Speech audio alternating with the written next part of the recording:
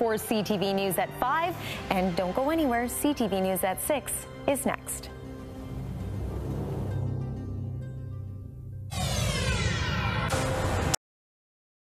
Tonight, Michael Ball appealing his murder conviction.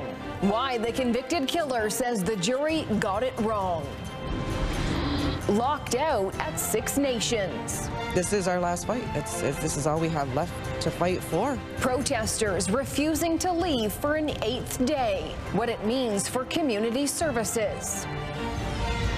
Parents ponying up he didn't say no, so I don't think anybody would these days.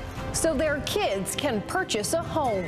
People certainly do feel pressure to get into the market. How to help your children without hurting your bottom line.